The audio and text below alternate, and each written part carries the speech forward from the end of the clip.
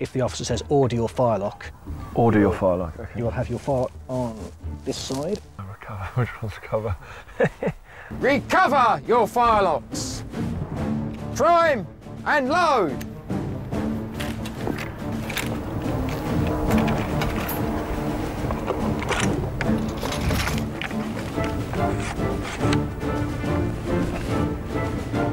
Make ready. Present.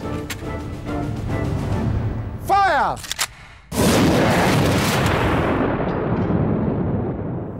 I don't feel like a soldier. I think I'm a pretty long way from being a proper 18th century infantryman.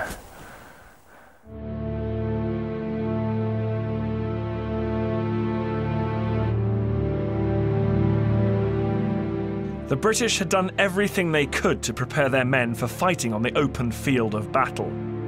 But what they hadn't counted on was that they now had to fight a very different kind of enemy. For thousands of years before any Europeans arrived, these lands had been inhabited by Native American tribes. Many of them had managed to reach a peaceful coexistence with the French, but they feared that the British would force them off the land. And so they allied themselves with the French and launched an effective guerrilla campaign against the invaders. The British at this camp in particular felt isolated.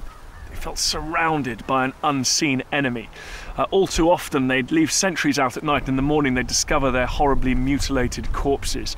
Around about this time of day, at sunset, uh, everyone in the camp had to stand to arms to be ready to repel an attack.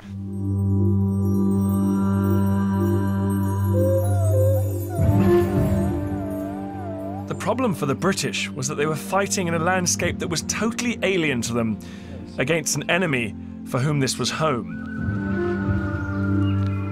Andre Bourbeau knows more than most about this environment and what it takes to survive in it. So, Andre, didn't you spend a month in the wilderness with some credit cards and a car key? It was a one of those crazy things to do when you're young, you know, an adventure. but yeah, 31 days with uh, no gear, no food, no no fire, no matches, no no knife, uh, nothing at all. Just just the clothes on my back. And did that give you an insight into just how uh, how difficult it is to survive in these conditions? Gave me a great big deal of uh, of respect for our, our forefathers. It's just uh, unbelievable how tough you have to be to do these these these things. So, in the in the uh, in the fighting 250 years ago, uh, what advantages did the Native Americans have over these British coming in? Well, they just had thousands of years of experience. You know, um, I've been researching wilderness survival the last 30 years, and I, uh, I swear I'm a, a rank beginner compared to these guys that did it day in and day out, every single day. They were tough. They knew everything. So when the French Canadians came in, they they kind of learned from the Indians how to do it. They'd learn how to make the fires, how to what kind of shelters, what kind of materials you use to build your shelters, and all this from the native people. It's interesting because these redcoats, these British soldiers that arrived here in North America, they spent their whole careers training for a different kind of warfare. Yeah. You know, standing in lines on big open fields and shooting muskets, and here they are. I mean, I guess they have to learn a well, a, a completely new way of fighting. Yeah, they, they can't win against against somebody that knows the force because uh, that knows the force is he's gonna they're gonna be completely camouflaged. You can't see a guy in the forest if he's camouflaged. How about if he's wearing a bright red coat? Well, you know, they stick out like a sore thumb. Techniques like camouflage, ambush, and even building traps gave the Native Americans and their French allies a huge advantage over the British. That's a lot of kick. so I guess the thing that people have always read about this this war and this, these conditions is tracking. How the Native Americans are amazing trackers. Are you, are you an expert at that? Oh, not not a great expert, but uh, I can follow you. That's for sure. I'm actually very very light-footed. I got to tell you. Yeah.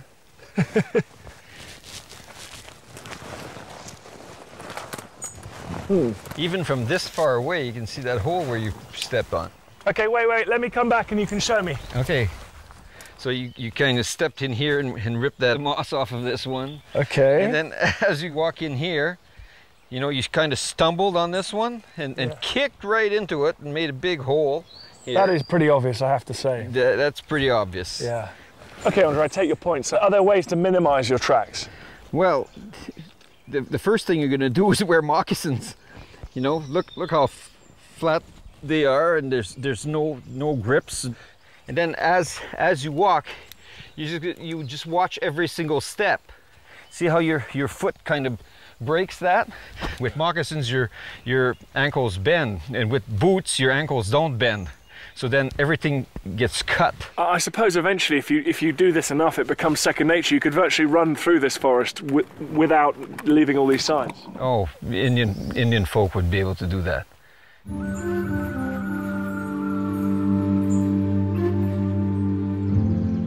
The British were trapped. French cannon protected the Narrows. Thousands of French troops were defending the shore. And in the wilderness, the British were at the mercy of the Native Americans. So they took revenge on the Canadian inhabitants of the countryside. For miles around, the British burnt farms and destroyed houses.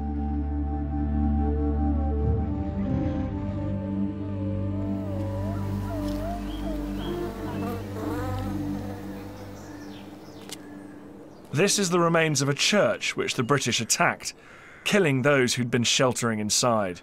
Just one of many atrocities committed that summer. There was particular animosity to this campaign. Wolfe himself wrote the year before that it would be a pleasure to see the Canadian vermin sacked and pillaged and justly repaid of this unheard of cruelty. But the interesting thing about the British Army is they didn't all agree with that. One of Wolfe's brigadiers, the rank below him, a man called Townshend, uh, said, I never served in so disagreeable a campaign as this. It's a scene of skirmishing, cruelty, and devastation. It is war of the worst shape, a scene I ought not to be in. The inhabitants of Quebec weren't safe either. The British had taken Point Levy on the other side of the Narrows. Today, just a short ferry ride away from Quebec. And from here, they used another weapon shipped all the way from Britain artillery. At 9 pm, as the light was falling on the 12th of July 1759, a firework blasted up from here, and that was the sign for the artillery bombardment to begin. At each of the cannon, a blue coated artillery sergeant marched up, lit the gunpowder, and cannonballs were sent flying towards the town. Now, initially, because the barrels were cold, the British cannonballs were falling short. They weren't reaching the town, they were dropping into the St. Lawrence. And the British soldiers up here could hear the shouts and jeers of the French defenders. But the British cranked up the elevation to the maximum, about 45 degrees, and as the barrels heated up, the cannonballs started to hit home not just cannonballs, but explosive mortar rounds, and even things called carcasses, which were big, flaming incendiary bombs which left a trail like a comet as they arched through the sky. The governor of Quebec estimated that 200 of those incendiary bombs hit Quebec on that first night.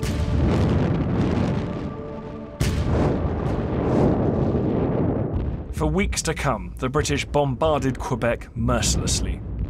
As this British map shows, their artillery was able to reach right into the city.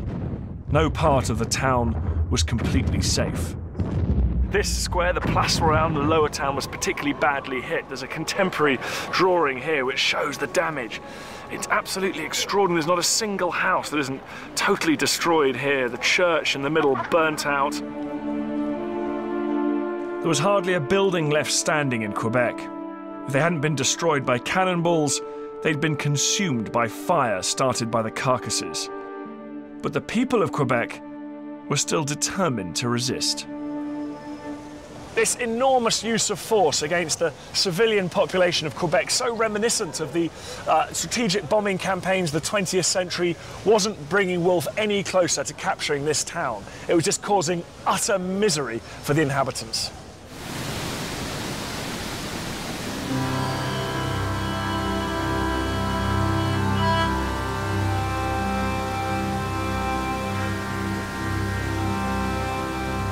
The main British force was still stuck on the far side of the Montmorency River, looking across at its enemy. With winter approaching, Wolfe couldn't risk waiting any longer. He decided to launch an attack aimed at the French defences on the other side of the waterfall.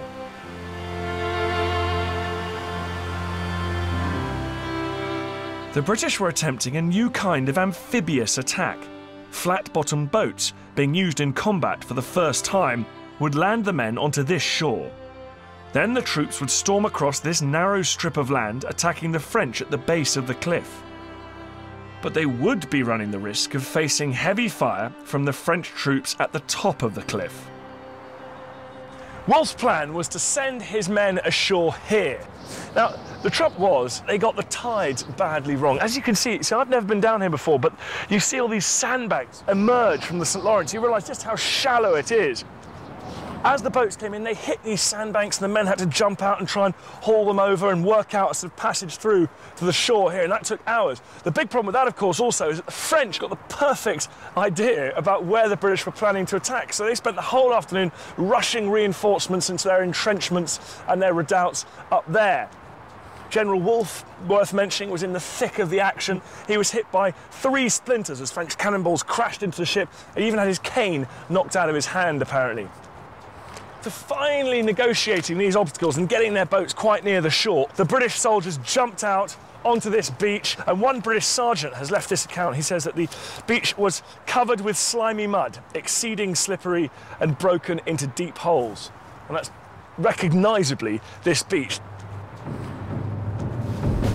But once Wolfe's men had got to shore, something absolutely remarkable happened. Rather than listening to their officers and falling into neat ranks ready for the next phase of the assault, the band played the Grenadiers March, and with that, the men took off in a wild, mad charge.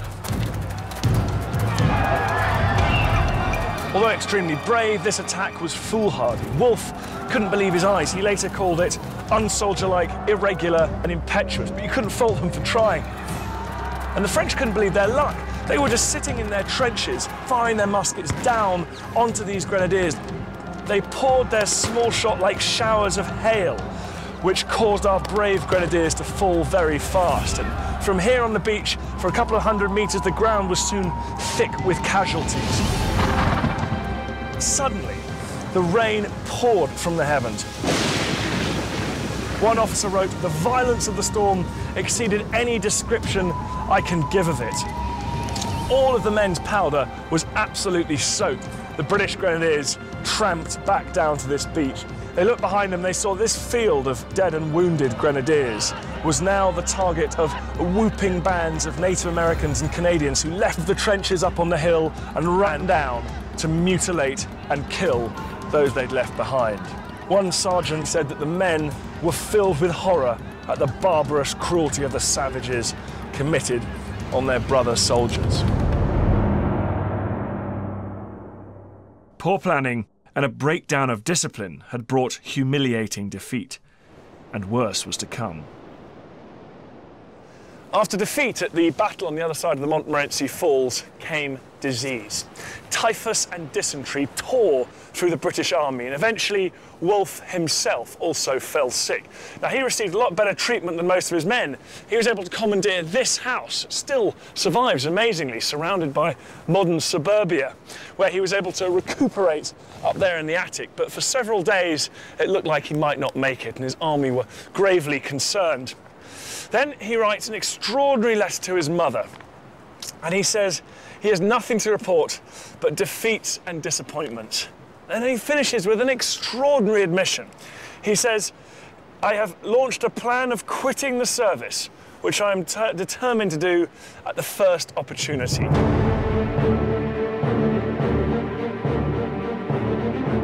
Wolfe was convinced that the failure to defeat the French was his responsibility and his officers agreed.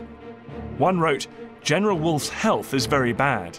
His generalship is, in my opinion, not a bit better. They were frustrated with Wolfe's obsession with attacking the well-defended Beauport shore. They thought they had a better idea. They wanted to attack Quebec from the other side. here on the Plains of Abraham at the top of the steep cliffs. But landing troops here would mean getting their ships past the French defences. No easy task. In order for the British ships to get past the Narrows here and past the gun batteries in Quebec, they had to wait for the sun to go down and the tide had to be perfect, had to be steaming in at full speed, and the wind had to be from blowing over my shoulder. Everything had to be exactly right. That meant the ships could get up some speed and shoot the Narrows before the French had time really to unleash their cannon batteries in full force on them. Thanks to the skill and bravery of the British sailors, the Navy succeeded in getting a large number of ships through the Narrows with only minor damage from the French guns. Wolfe finally recovered and took command. By now, winter was fast approaching, so he reluctantly went along with his officers' plan. He ordered his troops to get ready for one last attack. Once again, it would be an amphibious assault, it would need the perfect integration of the army and navy, and this time they would attempt to land in a secret night attack. Their landing point was by a ravine where a rough track led up the cliffs, called the Anse au Foulon. In the early hours of September the 13th, 1759, Wolfe's first wave landed here quite near the Anse Foulon. Conditions were as they are tonight, still and clear, the perfect conditions for amphibious landing. The landing spot today is a working port, a reminder that history can be found in industrial parks, not just national parks. Well, this is certainly one obstruction that the British troops didn't have to put up with.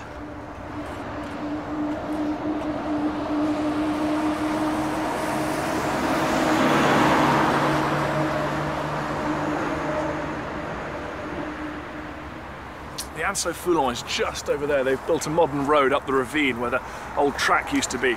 But we're told that the first wave of Wolfe's army actually landed a little bit further downstream, somewhere around about here, and they were forced to climb up a section of cliff without any track up it at all. So these British troops knew they had to get to the top to clear away the French defenders so the rest of the British force could land. Everything depended on these guys getting up this slope as quickly as possible.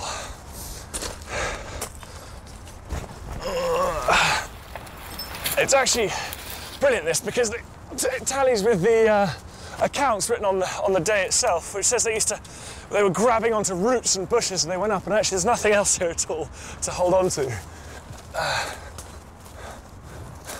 this soil is particularly difficult to get a grip on. It just comes away under your feet.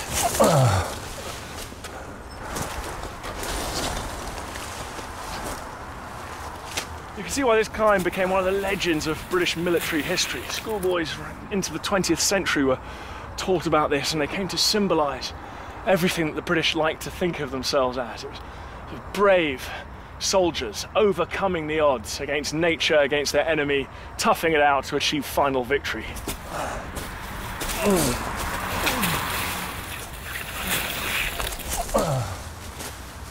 They arrived here at the top and found themselves near the top of the track which led up from the de Foulon, where this modern road now runs.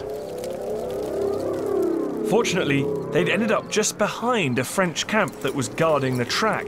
The soldiers there were taken completely by surprise. The French now had no stomach for that fight, and they fled. The road from Anse au Foulon to the Heights of Abraham now lay open.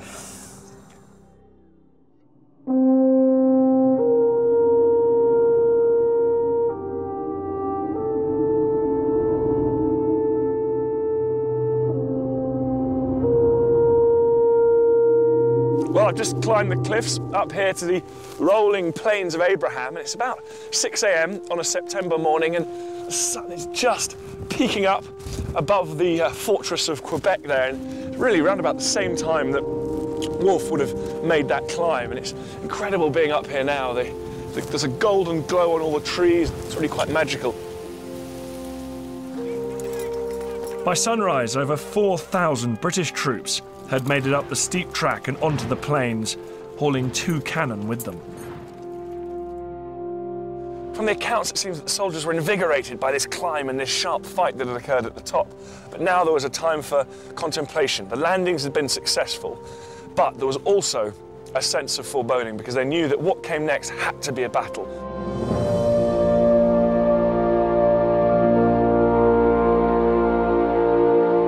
French sentries could now see the British and delivered the shocking news to their commander, Montcalm. He knew that if the British could dig in on the plains and lay siege, the walls of Quebec would soon fall. So he made the decision to go out and fight.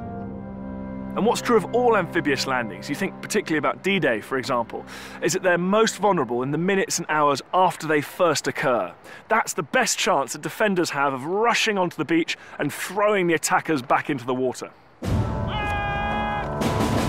The British now readied themselves. This was what they'd been waiting for a chance to put all their training into action on the open field of battle. As they reached this point here, approximately about half a mile away from the walls of Quebec, they saw the French army streaming out of the gates. One British soldier said they were like bees coming out of a hive. This is approximately where the British line would have been, starting down there next to the cliffs by the river and then stretching in a long line this way for about half a mile. About three feet between each of the soldiers. And usually the British Army had lined up three deep, but some young officers like Wolfe insisted that two ranks would be enough. So really this period sees the birth of what we now call the thin red line. In the front rank were the tallest men. One, one drill manual says the most well-made men to intimidate the enemy as they charged towards them. They were told to stand bolt upright, chests out, eyes forward, and in dead silence, waiting for the commands of their officers and waiting for the enemy. Meanwhile, the French had formed up a rough and ready line over there, but whereas the British stood still waiting, the French couldn't wait and they charged. Now, it wasn't an orderly advance. There was some confusion. There was shouting and running. There were calls of Vive la roi, which is long live the king. And they sort of hurtled towards the British line. Now, the British unleashed their first deadly weapon.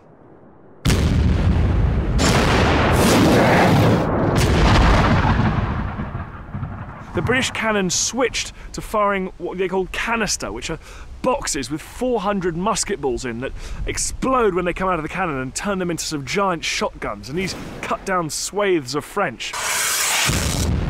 The French firing was pretty wild anyway because they were running along and firing as they went, so most of their shots were missing.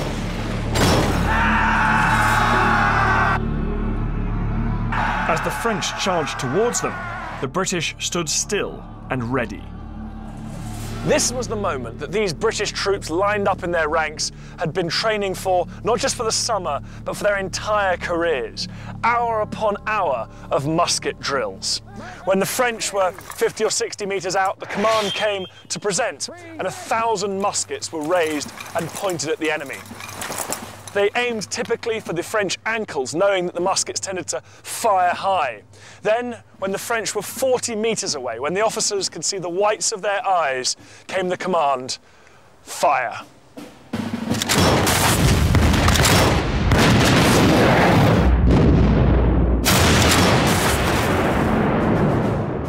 The effect of that musket volley was shattering.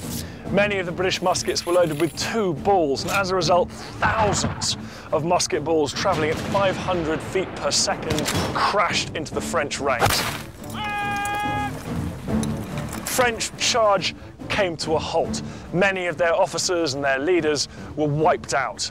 Then, just 20 seconds later, the British had reloaded and fired another volley, and then again and again. For five or six minutes, the French stood in utter confusion, their sight completely obscured by huge clouds of musket smoke. The noise of the volleys deafening them. The smell of all the gunpowder was apparently nauseous.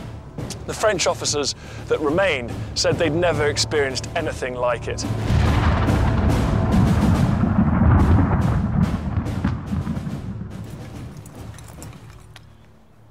The British strategy was all about the musket and how to use it to maximum effectiveness.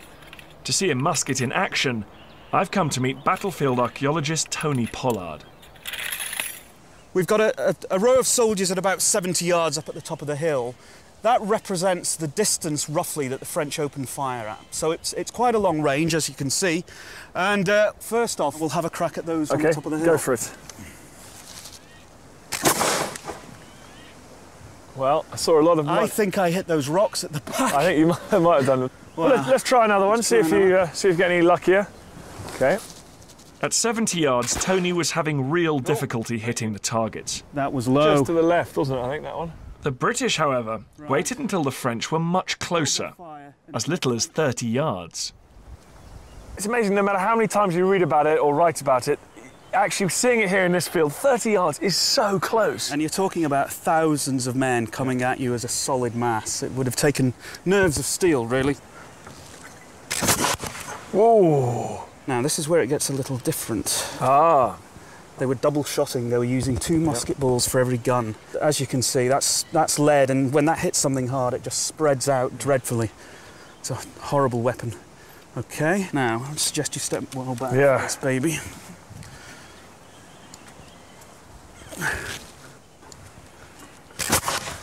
Oh! Well, you can see a lot of splintering around here. Yeah, this has caused some real damage. Oh. So I think that's a pair there. Gosh, so they do they do spread a fair bit, don't they? This chap, he's gone right through through there. And the thing is that at this range, they probably would have passed straight the way through the human body unless it hit something hard like the musket or maybe bone. But it's, it's highly likely the musket ball would have travelled, we've, we've replicated that in the past, would have travelled directly through the body and may, may even Im impacted on the guy behind him. Wow. It's horrific, really, isn't it? Devastating physically and psychologically.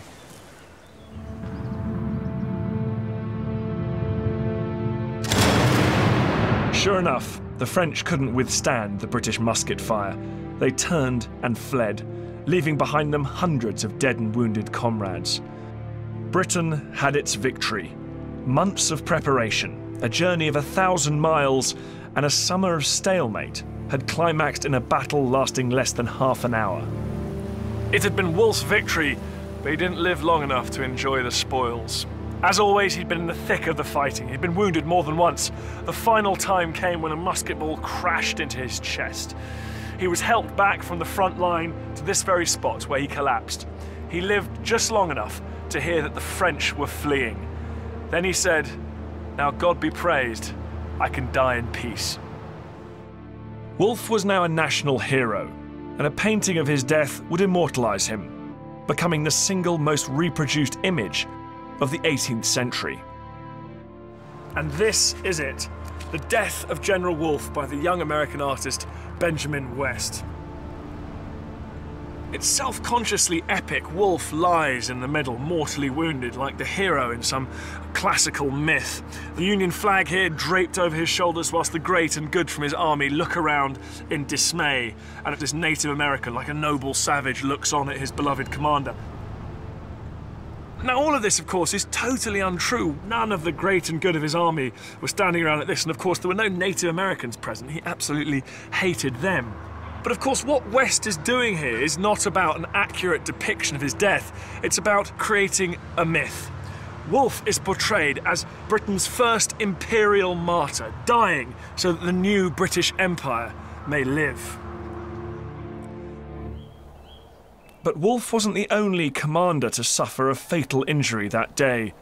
Montcalm was shot as he fled and died the next morning. He is now buried in this graveyard. With the French general dead, Quebec surrendered. After a bloody summer for the British, only 50 of their men had been killed in the decisive battle. But for the survivors, the greatest challenge was yet to come. Winter proved to be a deadlier foe even than the French. The temperatures plummeted to minus 30. The countryside froze, as did the River St. Lawrence. There was no chance of getting fresh supplies into the beleaguered British garrison of Quebec. The town itself was shattered. The buildings provided no protection from the elements at all. The British died in their hundreds of scurvy and exposure. The ground was too hard to dig graves, and so British corpses were piled up, frozen like logs outside the city walls.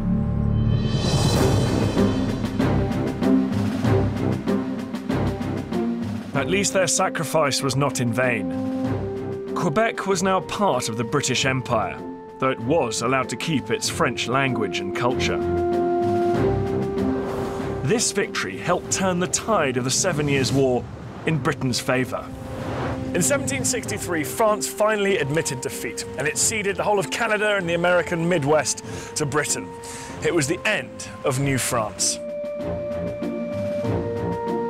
Victory at Quebec showed how Britain's industrial might, its powerful navy, and a rigorous scientific approach to warfare could make it unbeatable. Britain was now the world's dominant superpower and had taken control over what would become the richest continent on Earth. But the British didn't have long to enjoy the fruits of their victory. They'd finished the war victorious, but terribly in debt. Now, the British government's plan was to raise a bit of money by taxing the American colonists. But the Americans realised that now the threat of the French had gone, they didn't need British protection at all. Unless the generation after Quebec, America rose up in rebellion against the British Crown. And who's the man that the Americans turned to to lead them in this struggle? Well, the man that had started the Seven Years' War, George Washington.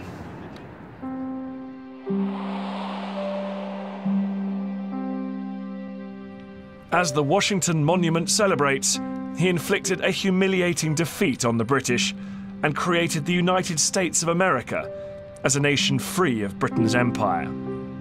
But, thanks in large part to Wolfe's victory, North America is primarily English, not French speaking.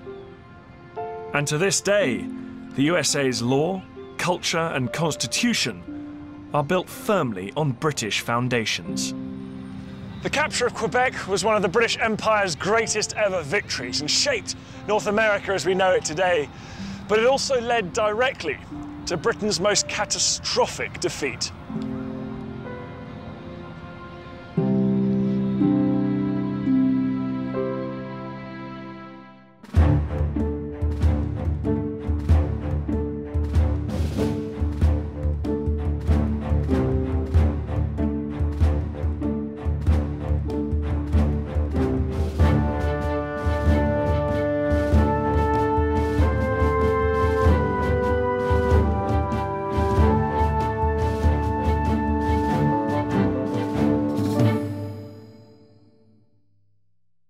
Welcome to the History Hit YouTube channel, which we are relaunching.